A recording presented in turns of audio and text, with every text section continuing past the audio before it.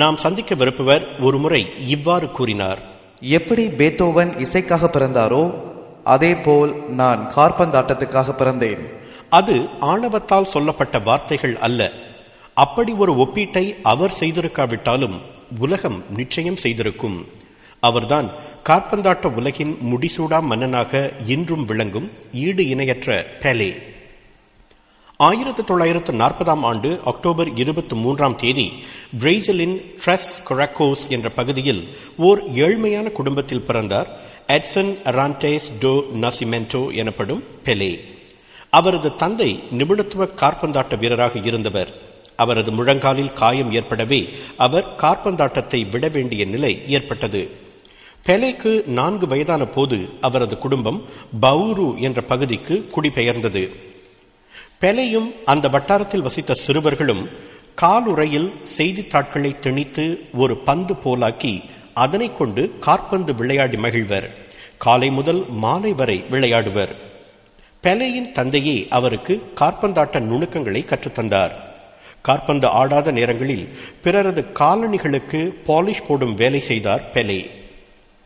பெலேயின் திறமை பௌரு நகர காற்பந்து குழுவில் அவருக்கு ஓர் இடத்தை பெற்றுத்தந்தது அடுத்த மூன்று ஆண்டுகளும் ஜூனியர் பிரிவில் வெற்றியாளர் விருதை வென்றது அந்த குழு. அதன் பிறகு நிபுணத்துவ காற்பந்தாட்டம் அவரை அழைத்தது. சாண்டோஸ் குழுவில் சேர்ந்தார் பெலே. சேர்ந்த முதல் ஆண்டிலேயே சாதனை அளவாக பதினேழு கோல்களை புகுத்தினார். அவரது அபார திறன் ஆயிரத்தி தொள்ளாயிரத்து ஐம்பத்தி எட்டாம் ஆண்டுக்கான உலக கிண்ண போட்டிகளில் பிரேசில் தேசிய குழுவில் இடம்பெற்று தந்தது. அந்த ஆண்டு இறுதிப் போட்டியில் ஸ்வீடனை இரண்டுக்கு ஐந்து என்ற கோல் கணக்கில் வீழ்த்தி உலக கிண்ணத்தை முதல் முறையாக வென்றது பிரேசில். அந்த வெற்றிக்கு நடுநாயகமாக விளங்கியது பெலேயின் அபார திறன்தான். உலக கிண்ணத்தை அவர் வென்றபோது அவருக்கு வயது பதினேழு தான் அவர் திடலில் இருந்தாலே எதிர்த்தரப்பினரின் முழங்கால்கள் வலுவிழந்து போகும் என்று ஒரு பத்திரிகையாளர் ஒருமுறை கூறினார். திடல் முழுவதும் ஆட்டத்தை உணர்ந்து ஆடும் பாங்கு கன கச்சிதமாக பந்தை பாஸ் செய்யும் முறை லாபகமாக இரண்டு மூன்று தற்காப்பு ஆட்டக்காரர்களை ஏமாற்றி முன்னேறும் திறன் தலையாலும் மார்பாலும் தொடையாலும் பந்தை கட்டுப்படுத்தும் மந்திரம் குறி தவறாமல் பந்தை வலை சேர்க்கும் தந்திரம் இவற்றால் கார்பந்து ரசிகர்களை கரங்கச் செய்தார் பெலே. ஆயிரத்தி தொள்ளாயிரத்தி எழுபதாம் ஆண்டில் மெக்சிகோவில் நடைபெற்ற உலக கிண்ண இறுதியாட்டத்தில் அபரிமிதமான திறன் காட்டி நான்குக்கு ஒன்று என்ற கோல் கணக்கில் இத்தாலியை வீழ்த்தி பிரேசில் மூன்றாவது முறையாக கிண்ணத்தை பெற உதவினார் பெலே. அந்த ஆட்டத்தில் அவர் தலையால் முட்டி போட்ட கோல்தான் அவரால் மறக்க முடியாதது என்று அவர் ஒரு பேட்டியில் குறிப்பிட்டுள்ளார். பிரேசில் மூன்றாவது முறையாக உலக கிண்ணத்தை வென்ற மறுநாள் த சண்டே டைம்ஸ் பத்திரிகை இந்த தலையங்கத்தை வெளியிட்டது. How do you spell Pele G O D. பிரேசிலுக்கு மூன்று உலக கிண்ணங்களை பெற்றுத்தந்த பெலே ஆயிரத்தி தொள்ளாயிரத்தி எழுபதாம் ஆண்டு தேசிய குழுவிலிருந்து ஓய்வு பெற்றார். ஆனால் தொடர்ந்து சாண்டோஸ் குழுவுக்கு ஆடினார். ஆயிரத்தி தொள்ளாயிரத்து எழுபத்தி நான்காம் ஆண்டு கார்பந்தாட்டத்திலிருந்து ஓய்வு பெறுவதாக அறிவித்தார். ஆனால் அமெரிக்காவின் நியூயார்க் சிட்டி காஸ்மாஸ் கார்பந்து குழுவின் தலைவர் தனது குழுவுக்காக விளையாடும்படி கெஞ்சி கேட்டுக்கொண்டார் பெலே தன் குழுவுக்கு ஆடினால் அமெரிக்காவில் கார்பந்தாட்ட மோகம் ஏற்படும் என்று அவர் நம்பினார். பேலேயும் இரண்டு ஆண்டுகள் அமெரிக்கர்களுக்கு தன் கார்பந்தாட்ட திறமையை காட்டி ஆயிரத்தி தொள்ளாயிரத்தி எழுபத்தி எட்டாம் ஆண்டு கார்பந்தாட்டத்திலிருந்து ஓய்வு பெற்றார். கார்பந்தாட்டத்தை அமெரிக்காவில் பிரபலப்படுத்திய பெருமை பெலியையே சாரும். அவரது ஓய்வு அறிவிப்பு நிகழ்ச்சியில் இருபத்தைந்து நாடுகளைச் சேர்ந்த எழுநூற்று அறுபத்தோரு பத்திரிகையாளர்களும் சில நாட்டு தலைவர்களும் கலந்து கொண்டு அவருக்கு பிரியா விடை அளித்தனர். இருபத்தி இரண்டு ஆண்டு கார்பந்தாட்ட அத்தியாயத்தில் மொத்தம் ஆயிரத்து இருநூற்று எண்பத்தி ரெண்டு கோல்களை புகுத்தினார் பெலே.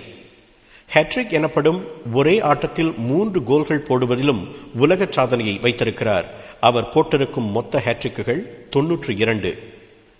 கார்பந்தாட்ட உலகின் ஆகச் சிறந்த வீரராக கருதப்படும் அவரை கருப்பு முத்து என்றும் பத்திரிகையாளர்கள் அழைத்தனர்.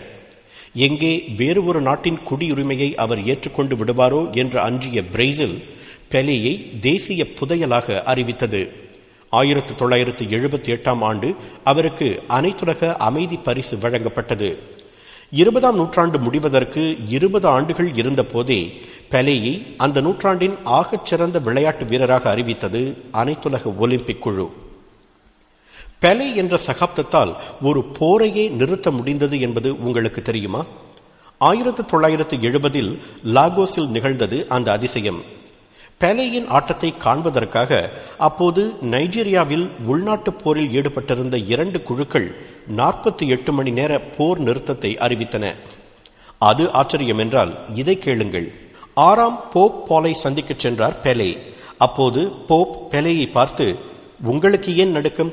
நீண்ட நாட்களாக உங்களை சந்திக்க வேண்டும் என்று விரும்பிய எனக்குத்தான் அதிக நடுக்கமாக இருக்கிறது என்றாராம். விளையாட்டுத் துறையில் ஈடுபடும் பல வீரர்கள் பொதுவாக தங்களுக்கு தாங்களே பெருமை தேடிக் கொள்கின்றனர். ஆனால் ஒரு சிலர்தான் அந்த விளையாட்டுத் துறைக்கே பெருமை தேடித் தருகின்றனர். அந்த ஒரு சிலருள் பெலையின் பெயரும் அடங்கும். சிறுவயதில் காலணிகளுக்கு பாலிஷ் போட்ட ஒரு பையன் பின்னாளில் தன் கால்களால் விளையாட்டு உலகை மெய்மறக்கச் செய்த கதைதான் பெலேயின் கதை. கார்பந்தாட்டம் என்ற வானம் அவருக்கு வசப்பட்டதற்கு திறமையும் தன்னடக்கமும் சுய கட்டுப்பாடும் முக்கிய காரணங்கள். அதே காரணங்கள் நமக்கும் கூட வானத்தை வசப்படுத்தும். வானம் வசப்படுமே. Cause I'm